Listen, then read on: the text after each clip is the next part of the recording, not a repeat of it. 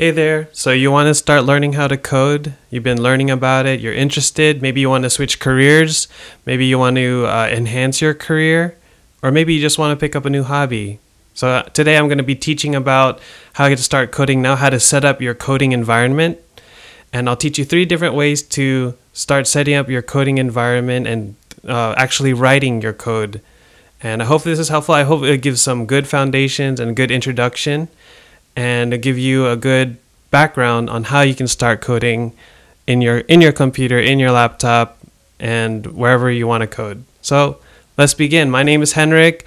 I'm here to teach you how to program your own applications, stress less, build more, save time, and improve lives and the lives of others. All right. So before we get started, I also want to share that I have a free programming guide called my Personalized Finance App Programming Guide. It's a 12 step guide and it teaches you how to go from no coding experience to building your first app. And basically, what you do in this application is you take your credit card transactions and then you can organize them in different budget categories so you know how much you're spending. I think this is a really fun app. And this guide will teach you how I would think about programming this app. So I hope it's helpful for you. The link is in the description. And if you download it and pay attention to what it says, then you will definitely learn some fundamental programming concepts. All right, so you want to start coding? Uh, one of the first questions that I see people ask about this is which which programming language should I learn first? I think that's the first thing you need to learn before you start coding in your own coding environment because every language has its, has different coding environments. And uh, to figure out what your programming language is, you need to figure out what you want to build. Do you want to build a website? Then you should learn JavaScript. If you want to do machine learning or AI, then you should learn Python. Or if you want to uh, do embedded systems or microcontrollers or work with an Arduino, then you should learn C. Or if you want to build an Android app or GUI, then maybe Java's better. So you see, there's different kinds of um, programming languages that are good for what you're trying to build. So figure first figure out first what you want to build and then figure out what programming language is best suited for that uh, for the thing that you're trying to build. And if you don't have a particular goal in mind, you just want to start coding, I always recommend C. This is the programming language I learned in university.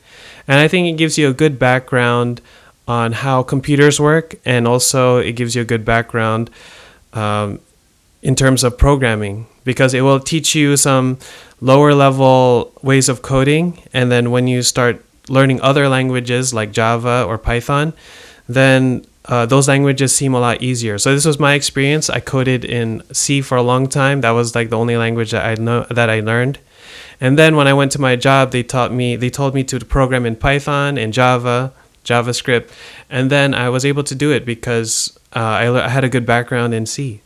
So that's my recommendation. Uh, I do have two two different videos that I did during my workshop last week that you can actually go through. So I have this 10-day programming workshop series where I teach some basic programming ideas, concepts, and one of uh, two of the questions were which programming language programming language should I learn first and why you should learn C and I talk about those more in depth. So if you want to check those out, you can check out those videos. All right, so three basic things that you need in order to start coding and run your code. You need to have one, a code editor. This is how you can edit your code and you can type in your code. This is when you actually start coding. Then you need a way to compile or build your code. And then uh, this basically it translates your the what you wrote into a code that your computer understands, and then their computer can execute your code. And then last thing you need to you need to have a way to execute your code or a way to run your code. And I'll go through all three and I'll go in particular with C as an example. And then I'll go I'll st- at the end of the video I'll talk about what an IDE is or an integrated development environment.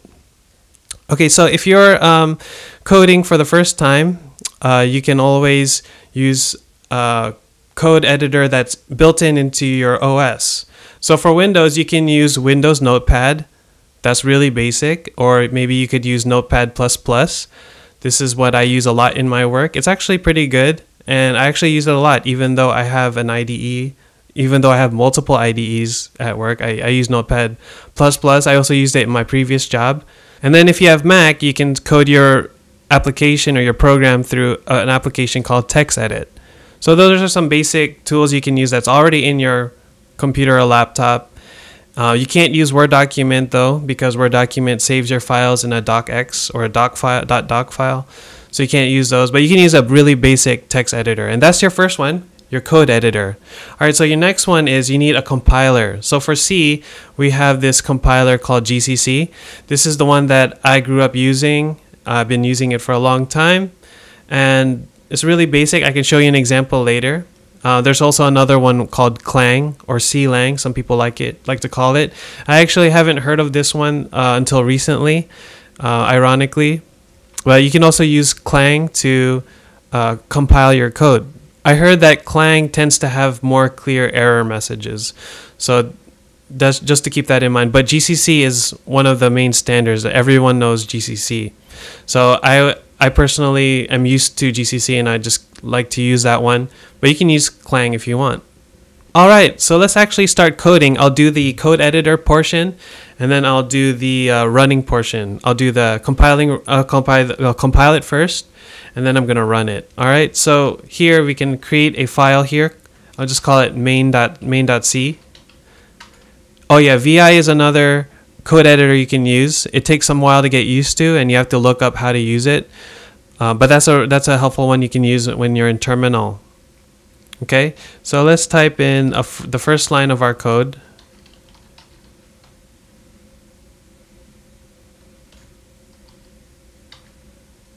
And then you can compile your code with GCC. So GCC main.c, and then it produces an executable file called a.out. You can see it here. And this is basically your codes translated into computer and then your computer can actually run the code. So let's go to 8, let's run a dot out. a dot out. And there you go. So it says hello world. So that's how you can edit your code and then compile it and then you can run it. So that's a really basic way. All right, next I'm going to talk about how you can combine all three into one. And this is called an integrated development environment or IDE. So there's two that I, I'm going to teach about today. One is an online IDE, and you can use this in your browser. So one that I like to use is REPL IT, and you can actually go into my REPL profile, Henrik M. Dev, and then you can see my REPLs. I don't know if I'm pronouncing that right, but you can see my REPLs, and then you can load one of my programs, and you can actually run it. So this was a program that I used in my one of my other videos, and basically it does the quadratic formula for you. So you can do REPL, you can use Replit, you can use it in different coding uh, devices. You can use it in your laptop. I used it in my tablet, and then I'm, I can use it in a, a Mac or a Windows. Anywhere that has a browser, you can use this. I even use a, I was even able to use this on my phone. So that's the advantage of using an online IDE is you can code in one one device and then you can easily code in another device and then have the same code there in front of you. All right, I'll just show you an example. So this is what it looks like when you log in. You can go to your REPLs and you can go into your you can go into your project and here I have main.c. These are the first lines of my program. And then you can execute it. If you execute it, it runs in the console down here. So you have your code editor and then the compiler, which is make dash s, it will compile your code and then it runs your code main. So it's really fast. This is what I like about IDEs. It compiles, it's a place you can edit and then you can also see the output of your program. So it's really simple, really easy, really fast, and you don't have to worry. You can just do everything here. It's an environment for you to code, and you can actually move these around in uh, in Replit. So if you if you want to have more of your actual program file, you can do that, and then you can see the output in this window. All right, but my favorite way to code is to code locally. I don't like using online uh, IDEs because sometimes you run you lose internet and then you're you don't know what's going to happen to your file at that point. and sometimes it takes a while to load the code. But if you do it locally, if you code locally, it's just there in your computer. It's really fast, and I think it's a lot simpler. So you can go to Visual Studio Code, and you can download it here. This is a a, a very popular IDE, Visual Studio Code, and what's nice about this is you can use it anywhere. You can use it in different kinds of computers. And you can use this IDE. I use it at work, and a lot of people are using it at work. So if you start learning it in your own home personal computer and then you get a job, you can already say that you already use Visual Studio Code, and then you feel like you're working at home, or you you feel like you're working uh, in a you're in an, an environment where you're already used to. So if you want, if I think I would recommend using Visual Studio Code to um, start coding. So we can download this. All right, so it's downloaded, and then you can see it right here. You can unzip it and then you can put it in your applications. Then you can go in your applications and open it like a regular Mac application. You will get this notice about that it's an app from the internet and are you sure you want to open it? You can say yes. And here is Visual Studio Code. And to start coding in C, you just need to open the folder that you are coding in. So I was coding in my personal in this uh, directory, Henrik MDev, and then you say yes, I trust the authors because I'm the I'm the one who created this folder. And there you go. You see the files that we created, the a.out and the main.c. Let's open main.c. And there you go. You can see the code that I wrote earlier. And I like it because it looks pretty. It has color coded, it has color code on it. And before we we compile and run it, you need to install some extensions. So you need to install the C plus C++ extension pack. We install that. And then you should also install the code runner. So you can run the code. All right. So now you can actually run it, but I think the default setting when you install it is debug. So just make sure you're using the run code. And there you go, it actually ran it already. So it says hello world, and just to prove to you that it's actually compiling the code and running it, I can just change it here. And then you'll see this dot here, and you need to just save it and then run it. Oh yeah, after you save it, the dot will disappear, and then you can run it again. And there you go, hello there. And it says exit equals zero, exit with code equals zero. That means that it code it compiled and ran and uh, everything's all good. But if you were to mess this up, say you you messed up the function here, then it will say code equals one and it will tell you the error that happened.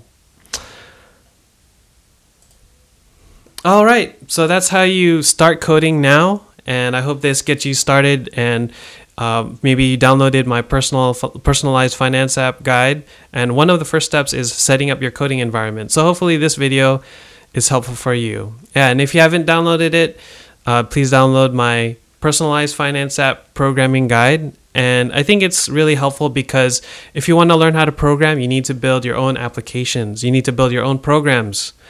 And this is how it was for me in university. We had a lot of projects, and that's how I got better and better at programming and how I got a really good grasp on my programming language. All right, so thank you for watching, and please uh, like, sub- share, and subscribe. And I hope this is really helpful for you. Peace.